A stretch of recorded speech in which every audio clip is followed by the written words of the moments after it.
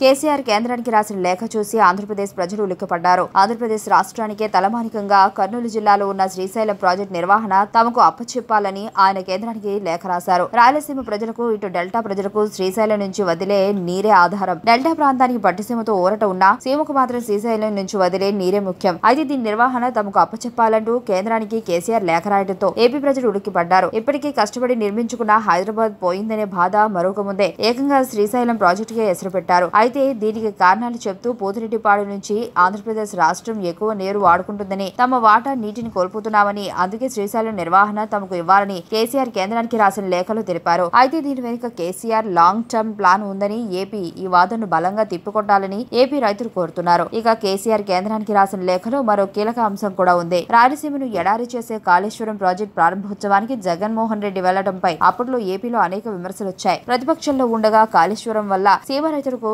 నష్టం అని ధర్నాలు చేసి అదే కాళేశ్వరం ప్రాజెక్టు ప్రారంభోత్సవానికి ముఖ్యమంత్రి హోదాలో వెళ్ళడంపై అప్పట్లో చంద్రబాబు కూడా హెచ్చరించారు. ఇది మీ ఇద్దరి వ్యవహారం కాదు. భవిష్యత్తులో తీవ్రంగా నష్టపోతామని హెచ్చరించారు. అయితే చంద్రబాబు మాటలు నిజం కావడానికి ఏడాది కూడా పట్టలేదు. కేసీఆర్ కేంద్రానికి రాసిన లేఖలో తాము ఎక్కడ ఎలాంటి ఉల్లంఘనలు చేయలేదు అని అన్ని పాత ప్రాజెక్టులు మాత్రమే చెప్పారు. కాళేశ్వరం ప్రాజెక్టుపై ఏపీ అభ్యంతరాలు అర్ధరహితమని ఆ ప్రాజెక్టు ప్రారంభోత్సవానికి జగన్మోహన్ రెడ్డి వచ్చి ఇప్పుడు అక్రమం అంటే ఎలా అని ఎద్దేవా చేశారు. అయితే ఇవన్నీ అపెక్స్ కౌన్సిల్ సమావేశంలో కూడా ప్రస్తావిస్తారు. నాడు చేసిన తప్పు అని కాళేశ్వరం ప్రాజెక్టుపై మేము వ్యతిరేకమని ఏపీ వాదనలు గట్టిగా వినిపించాలి. అదే విధంగా శ్రీశైలం తమకు ఇవ్వాలని తెలంగాణ చేసిన ప్రతిపాదనను మొగ్గలోనే తుంచేయాలి. వ్యక్తిగత స్నేహాలు పక్కన పెట్టి రాష్ట్రం కోసం బలంగా వాదనలు వినిపించాలి. వార్తావాణి న్యూస్ ఛానల్ ఎప్పటికప్పుడు రాజకీయ సినీ విశేషాలు స్పోర్ట్స్ మరియు సాంకేతిక పరమైన మరెన్నో విషయాలను మన ముందుకు తెస్తుంది. మరింత సమాచారం కొరకు వార్తావాణి న్యూస్ ఛానల్ని సబ్స్క్రైబ్ చేయండి.